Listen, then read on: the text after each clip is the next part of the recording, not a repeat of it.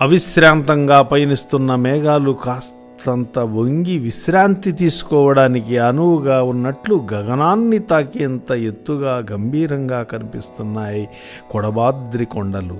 పడమటి కనుమలలోని సహ్యాద్రి పర్వత శ్రేణులలో ఒక భాగమైన ఈ కొడబాద్రి ఎన్నెన్నో అద్భుతాలకు నిలయం అని ప్రతీతి.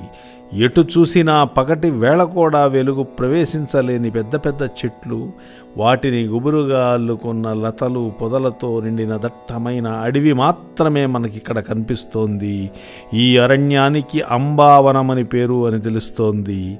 ఈ కొడబాద్రి కొండ ప్రాంతంలోనే ఆది శంకరాచార్యుల వారు తపస్సు చేసిన చిత్రముల మండపం ఉంది. ఒకవైపు ఎత్తైన కొండ మరోవైపు అగాధమైన లోయ. మధ్యన సాగే మార్గంలో నడిచి వెళ్తే పవిత్రమైన ఆ మందిరం మనకు కనిపిస్తోంది.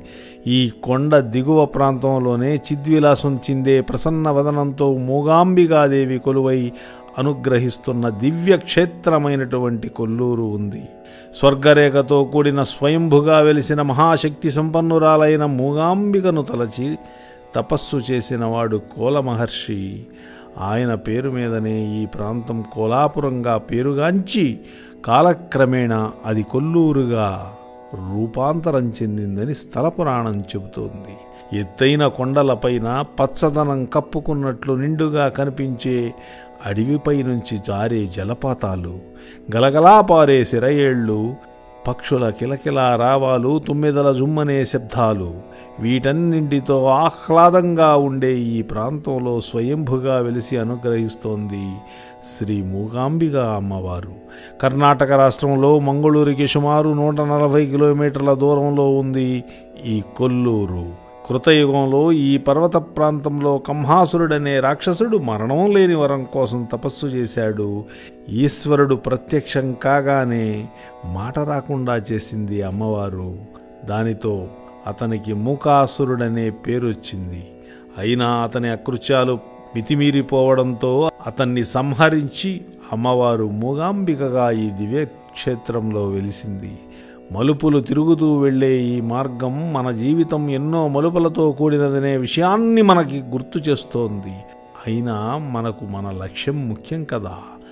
అందమైన ప్రకృతి మైమరిపించే చల్లని గాలి ప్రశాంతమైన వాతావరణం ఇటువంటి అద్భుతమైన ప్రదేశంలో ప్రశాంతంగా నెలకొని ఉంది పరమదయానిధి అయిన శ్రీ మూగాంబిక ఆలయం. ఇది కేరళ నిర్మాణ శైలిలో నిర్మించబడినటువంటి అత్యంత పురాతనమైన ఆలయం. మిగతా ఆలయాలలో ఉన్నట్లు ఎత్తుగా గంభీరంగా కనిపించే రాజగోపురం అద్భుతమైన శిల్పాలు ఇక్కడ లేకపోవచ్చు. అయినా సరే అందమైన ఆలయ నిర్మాణం మన మనసుల్ని ఇట్టే ఆకట్టుకుంటుంది. తూర్పు పడమర రెండు వైపులా ప్రవేశ ద్వారాలు. ఆలయానికి తూర్పు వైపున సౌపర్ణిక నదీ శాఖ ఒకటి ప్రవహిస్తూ ఉంటుంది. దీనిని అగ్నితీర్థమని కూడా అంటారు.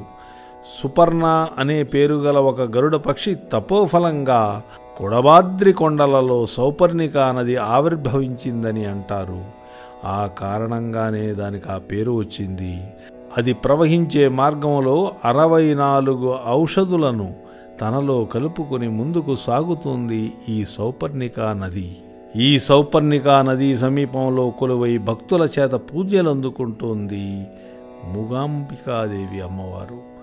ఈ పుణ్యనదిలో స్నానం చేసి భక్తి శ్రద్ధలతో ఆలయంలోకి ప్రవేశిస్తారు భక్తులు.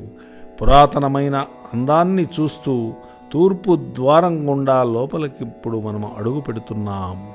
మనం మాత్రమే కాదు దేశంలోని నలుమూలల నుండి వేరు వేరు రాష్ట్రాలకు వేరు వేరు భాషలకు చెందిన ఎందరో భక్తులు రావడాన్ని మనం చూస్తున్నాం.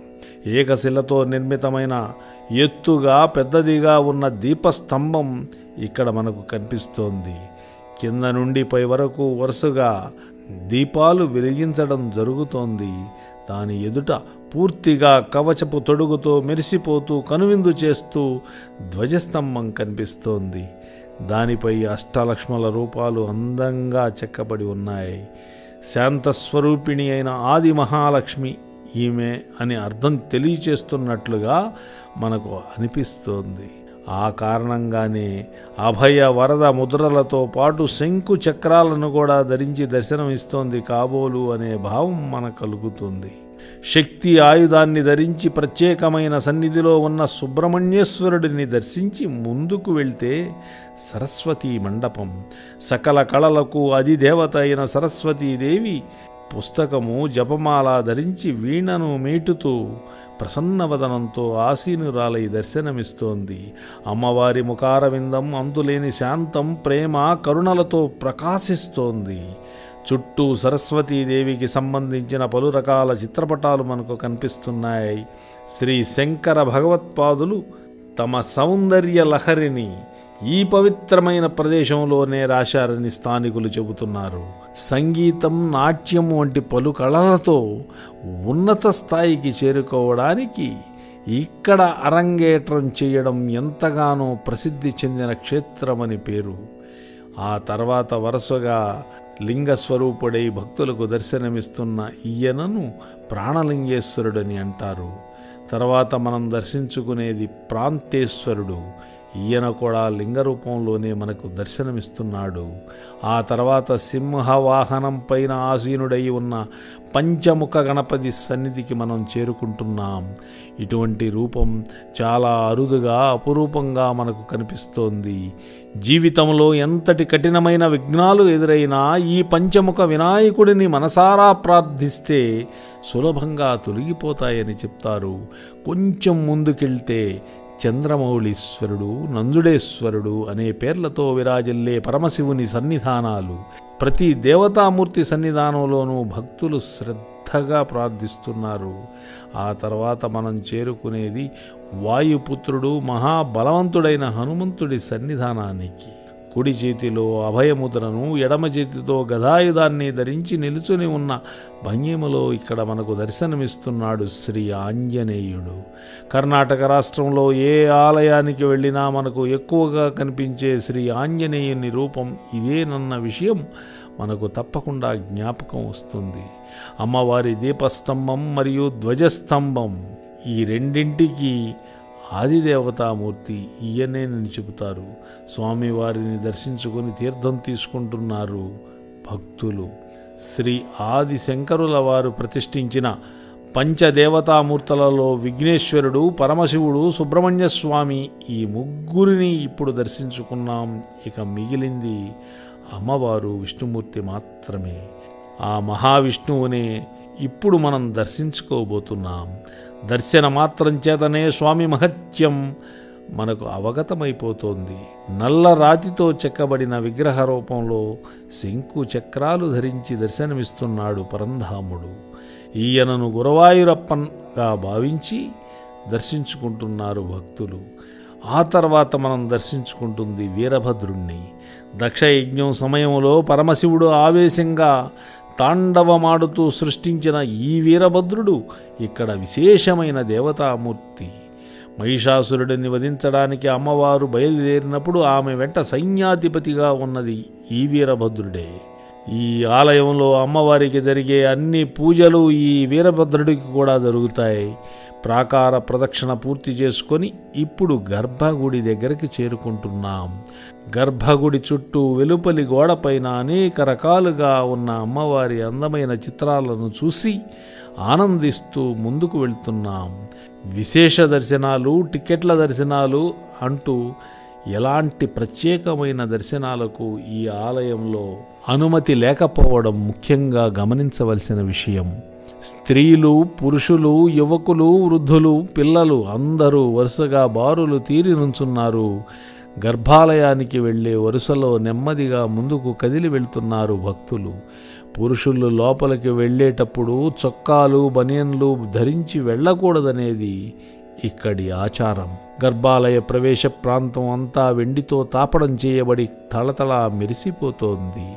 లోపల కరుణాసాగరి అయిన అమ్మవారిని దర్శించడానికి వెళుతున్నాము అని తెలియచెప్తున్నట్లుగా ద్వారానికి ఇరువైపులా ద్వారపారకుల్లాంటి స్త్రీమూర్తులు వీరు శూలం డమురకం గదాయుధాలను ధరించి ఉన్నారు.